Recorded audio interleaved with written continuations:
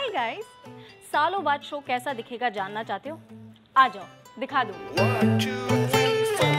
सालों बाद परिवार में कौन कौन है मिलना चाहते हो? आ जाओ, मिला दूँगी। क्या इस कहानी में और भी नए किरदार होंगे? जानना चाहते हो? आ जाओ, दिखा दूँगी। अरे, अभी नहीं।